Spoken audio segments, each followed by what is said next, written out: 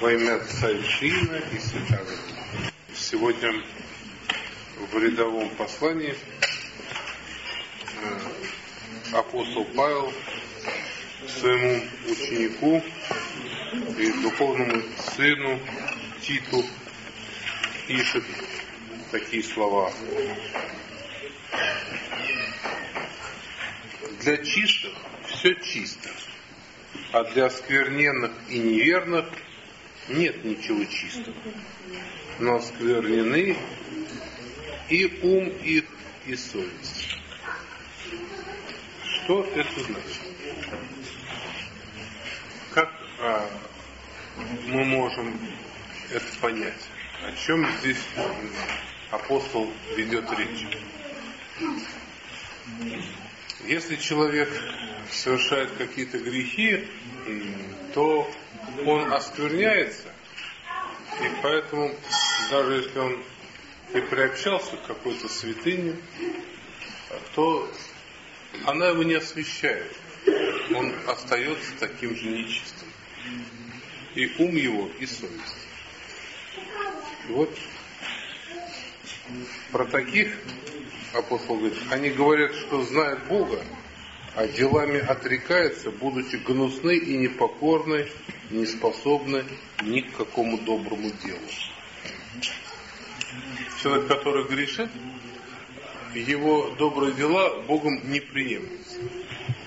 А никакое доброе дело нельзя сделать без помощи Божьей. Даже если человек вот хочет сделать что-то доброе, но сам от своих грехов не отрекается, то даже то доброе дело, которое делает, оно э, совершается им во зло. То есть конец не бывает добрым. Поэтому очень многие родители сетуют на своих детей. Сколько я для него там сделал или сделал, а он вон каким вырос. Если человек сам живет в грехе, то даже если он, сколько бы он детей там не воспитывал, старался им что-то привить доброе, это ничего не приведет. Все равно все остается нечистым. В силу греха. Поэтому, если мы хотим, чтобы был какой-то результат добрый в нашей жизни, мы должны очищаться от своих грехов.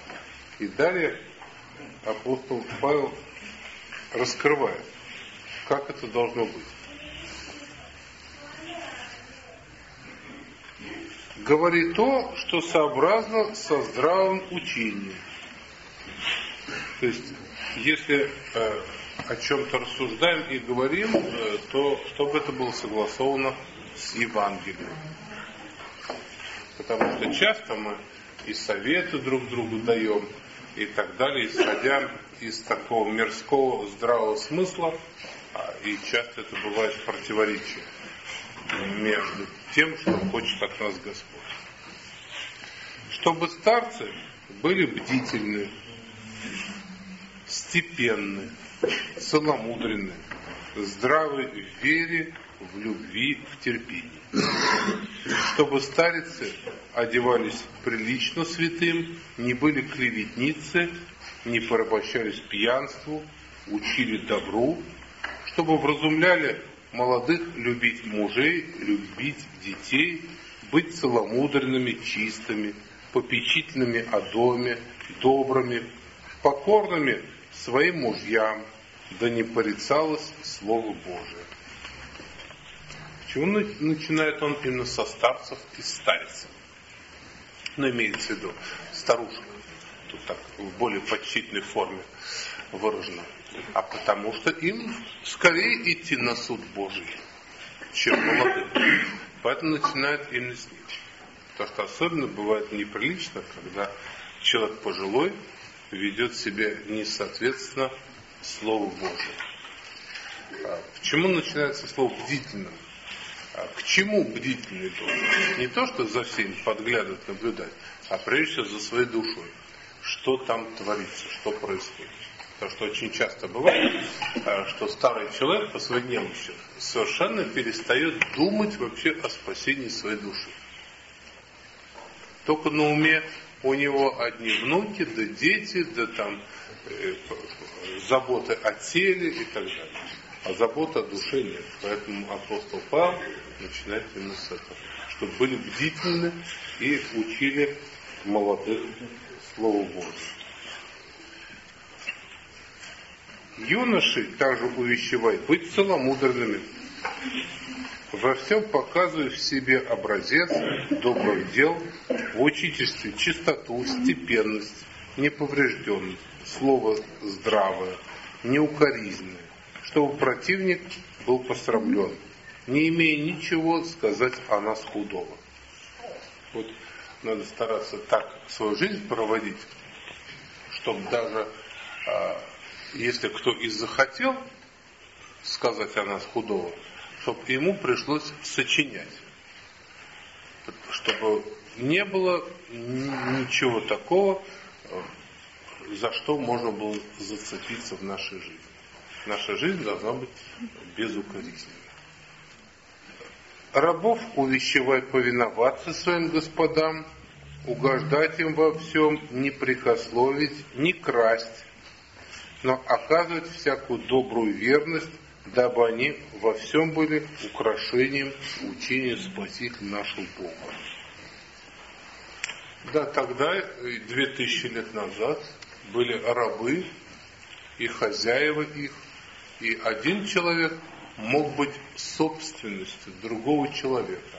И тот мог с рабом делать что угодно. Может его продать, может его собакам скормить, и так далее. И вот апостол Павел увещевает, чтобы раб был вот так послушен своему господину. И не красть. Служить ему. И не говорить о том, что вот это какой хозяин хороший, добрый.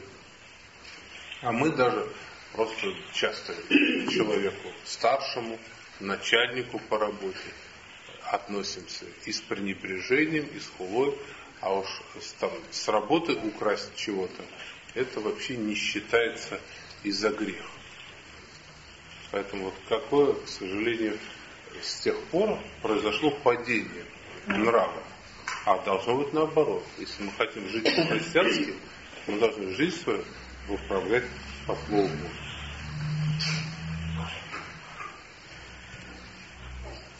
Угождать во всем и не прикословить.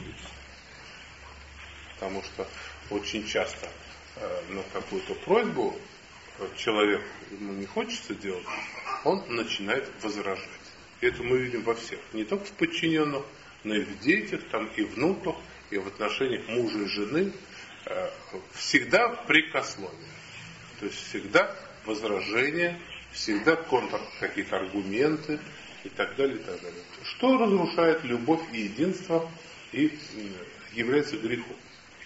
Поэтому если мы хотим, чтобы наша жизнь а, провождалась согласно Евангелию, то мы должны этому подчиняться. Потому что вот и апостол Титу пишет, говорит, чтобы не порицалось Слово Божие.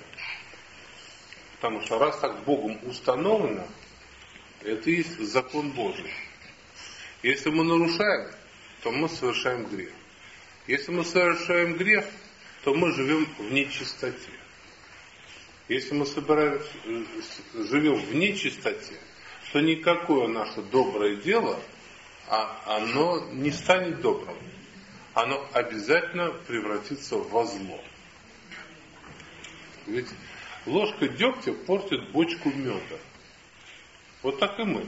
Может быть, по своей натуре, будучи и добрыми людьми, но если мы согрешаем, клеветой, прикословием, осуждением, нецеломудрием, то все вокруг нас обращается к нечистоту.